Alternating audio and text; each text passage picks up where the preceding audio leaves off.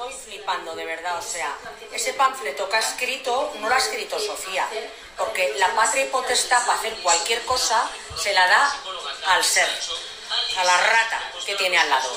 Eso también lo tenéis que saber, ¿sabes? No sale de mi hija, que no tiene tiempo para esto, sale de la rata, que ese sí tiene tiempo para hacer el mal. Es dañino, dañino. ¿Cómo se cura todo? Con el perdón. No quiero más que abrazar a mi hija, tenerla, darle cariño. Punto. ¿Eso es malo? Pregunto. Tú eres sinvergüenza, ¿eh? el que quiere este tipo de situaciones y que no me acerque a mi hija. Mentiroso compulsivo de toda la vida. Mentiroso. Que haces polvo a todas las personas que estás con ella. Mentiroso. Yo estoy mal por mis enfermedades. ¿Vale? Pero la cabeza es lo mejor que tengo. Estás fingiendo llorar y no te sale. Jamás. Porque no tienes alma. Yo fui a hacer las paces y a querer a mi niña. Y tú me trataste de señora.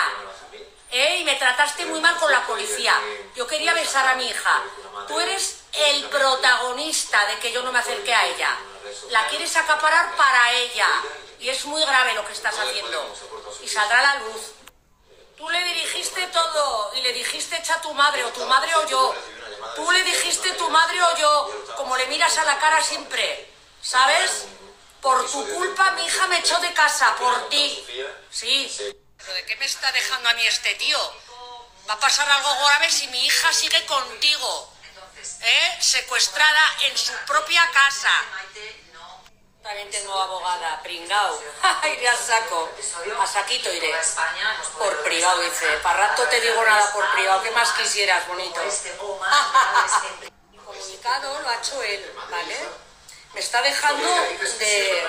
¿Vale? Por ahí no voy a pasar. Por ahí no voy a pasar. Me han tirado todos los informes del psicólogo a la basura. Y los voy a denunciar, solo por eso. ¿Vale?